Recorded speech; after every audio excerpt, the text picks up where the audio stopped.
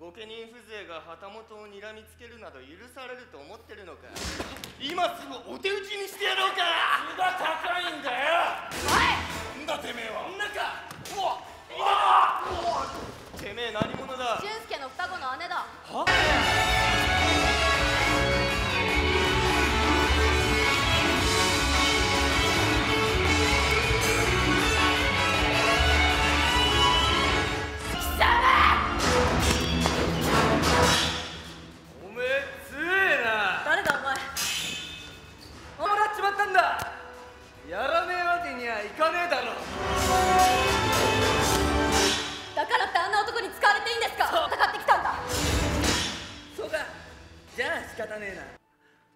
旗本だろうが家老だろうがどんな殿様が好き勝手しようとしても好きにはさせん。それが近代国家っちゅうもんじゃ。それが民主主義っちゅうもんじゃ。人間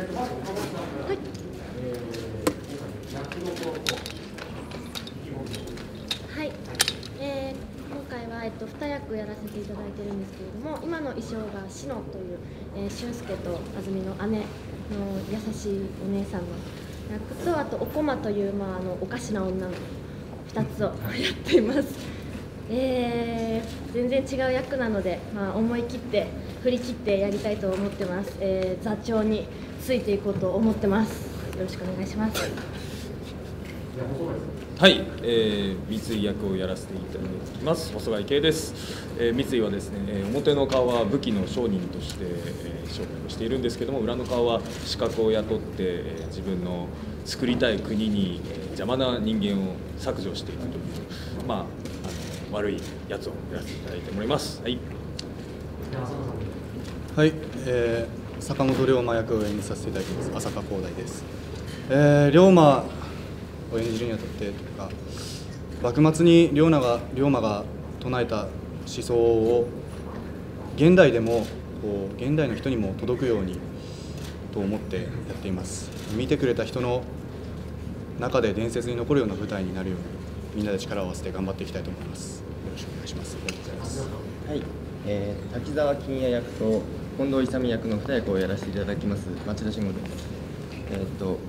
どちらの役も本当に悪いやつということで悪役をやらせていただくんですけども、えー見てる方がなんだあいつって言ってもらえるようにそして作品が良くなるようにしっかりと演じたいと思います。はい、えー今回は颯太という役をやらせていただきます早乙女ゆうきです、えー、颯太は安住のライバルでまあ安住の安住に初めて勝つというちょっとシーンがちょっとあるので、まあ、最後まで怪我なく安住と全力で戦えたらいいなと思います。うんはい、えー、今回、えー、勝海舟とあ僕ですはい、えー今回俊介役をやらせていただきます渡辺修です、えー僕が今回演じる俊介という役は、えー御家人という身分に生まれてきた男なんですけども、えーまあ、やっぱり御家人なので旗本には逆らえなかったりいろんなこうその頃の身分階級身分制度に抗いながらも生きていってる青年でやっぱり最初はすごく自分たちの家を守る戦いをするんですけども安住に出会って、えー、と刀を握りいろいろなものと戦っていくっていう成長を楽しんでいただけるキャラクターだとだと思いますので、えーぜひそこを楽しみにしていただければなと思います。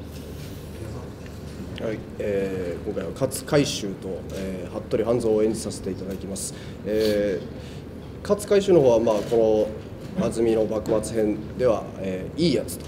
で服部半蔵の方は片や悪いやつと、えーもう両方やらせていただいて、えーそのなんだろう勝の持ってる懐の広さだったりとかっていうものを意識して表現して。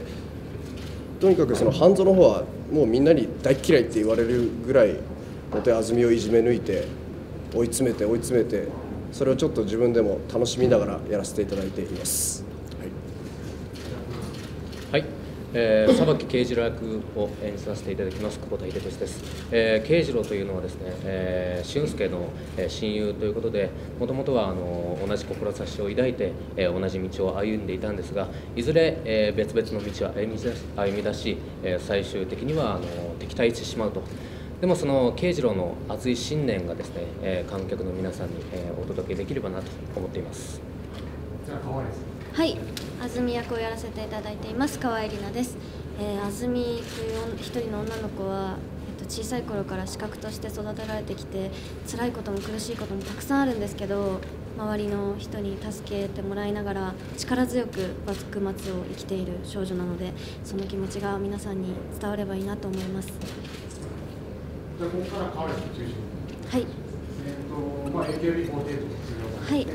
あのまあ初週間と初舞台ですが、はい今こうゲネプロを終えて、はい自身出来上がった人います。でも本当にあの稽古場からこの本当のステージに立ってあのすごく風景が変わってやっぱり照明とかもあって広さも全然違うしすごく戸惑うこともあるし間違えることもたくさんあるんですけどそれをあの千秋楽に行くにつれみんなで良くなって最後すごくいい形で終われたらいいなと思っています。